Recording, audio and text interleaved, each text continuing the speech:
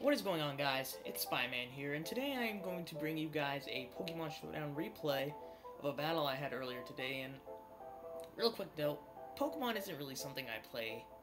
In fact, I rarely ever dwell into it. I haven't dwelled into it for a really, really long time, for years in fact.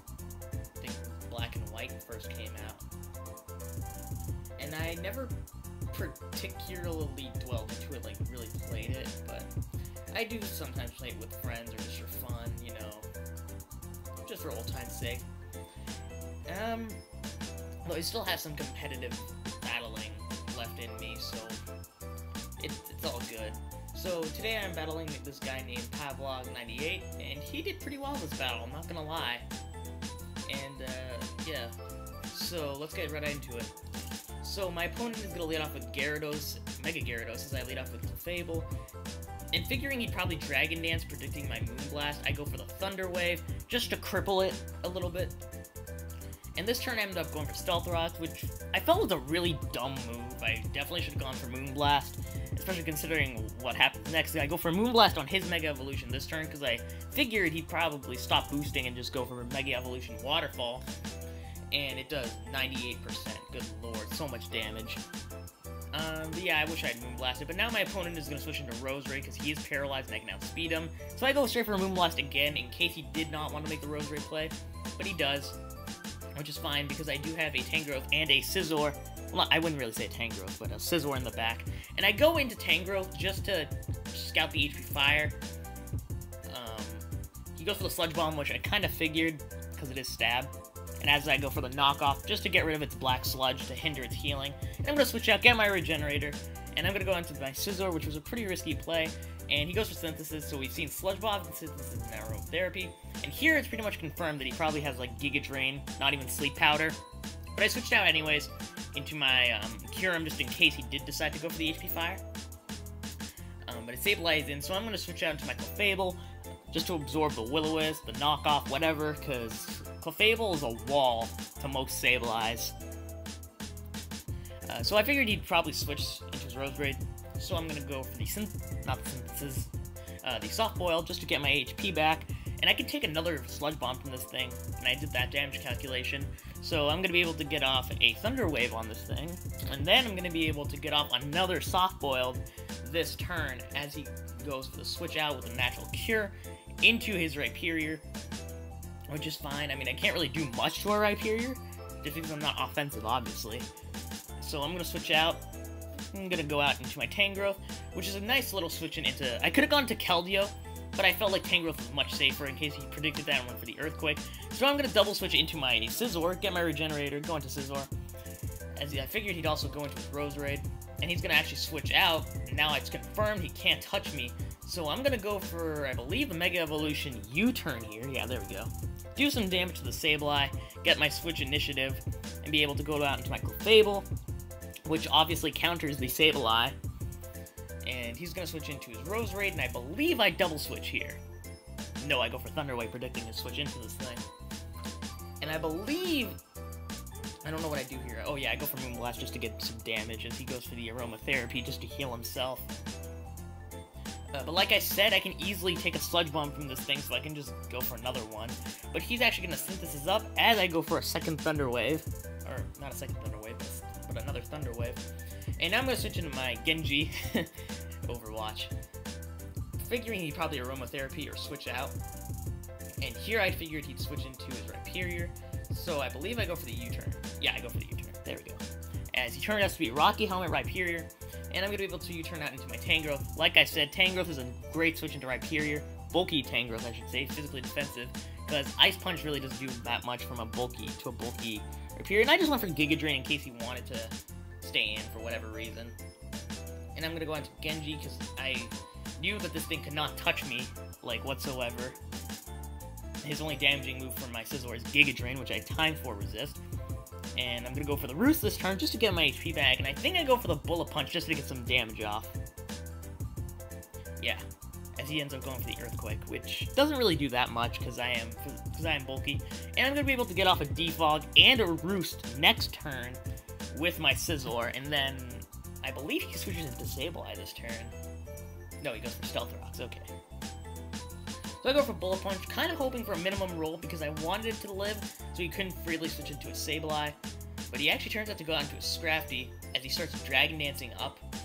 And I just get off a Defog because his Stealth Rocker is dead, may as well. Don't want my Kyurem B or Thundurus taking damage. And I knew it could live a plus one Drain Punch quite easily. And I'm to be able to get off a Roost. Uh, so I don't think I can... So I figured I couldn't stall this thing out for long with Roost. So I'm just trying to get as much damage in as possible before his Drain Punch can... Uh, before he can gain much HP back. But I'm going to switch this turn, go into Clefable, which is kind of a scrap, which is a scrafty counter. Because it... It's time for a week to Fairy, and it's... And Clefable resists its dual stab, so... He knocks off my leftovers, which is kind of unfortunate, because I have to rely on Softball more, but I'm going to be able to take out a Scrafty with Moonblast quite easily. He's going to go into Sylveon, which turns, which turns out to be Choice Spec Sylveon, which is really a threat. It's a threat. But I'm going to go into my Genji, just to scare this thing out with the Bullet Punch, which would obviously OHKO. And I actually do end up going straight for the Bullet Punch. And I'm going to switch into my Tangrowth, I believe, because Ice Fang probably won't even do that much. And I also wanted to rack up some uh, Rocky Helmet damage on this Gyarados.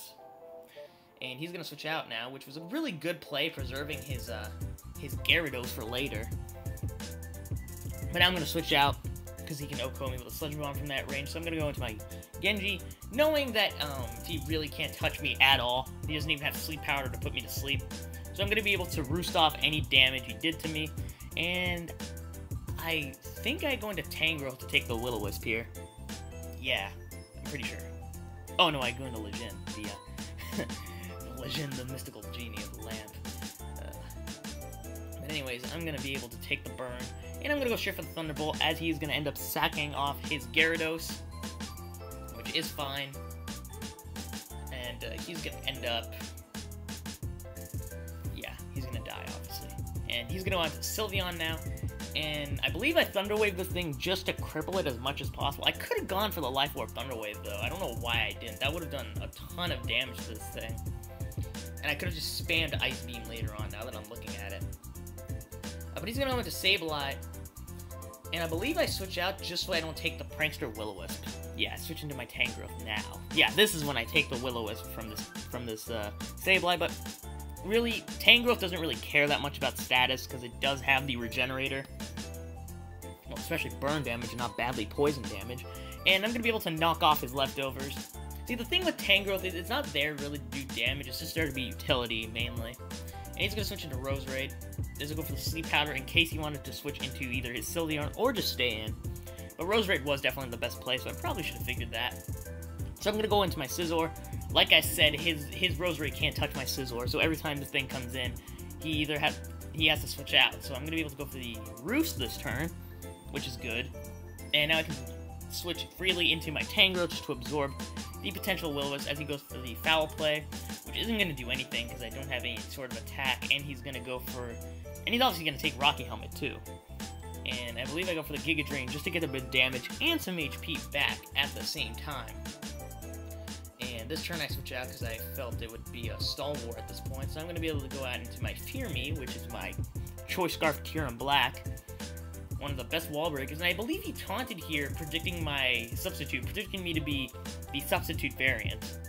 And he's gonna go for the second Will-O-Wisp as I go for another Ice Beam, just to get. Just I wanted to for I wanted to force this thing to go for a recover. Essentially, is what I'm trying to say here. And I'm gonna be able to go on to Spike the Keldeo.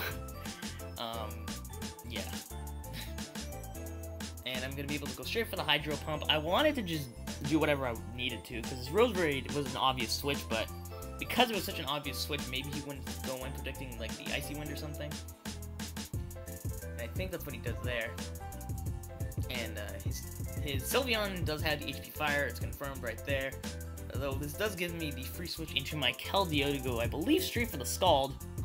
Yeah, this is when I kill a Sableye, finally, with a Choice Spec Scald. And at this point in the battle, it gets kind of real.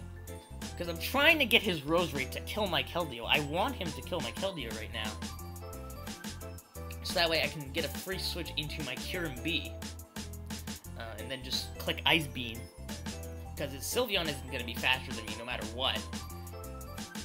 Which is obviously great. And I'm just, he finally ends up killing my Roserade. Uh, but not before getting a lot of HP back. But it doesn't matter because I can obviously OHKO him with an Ice Beam, no matter what.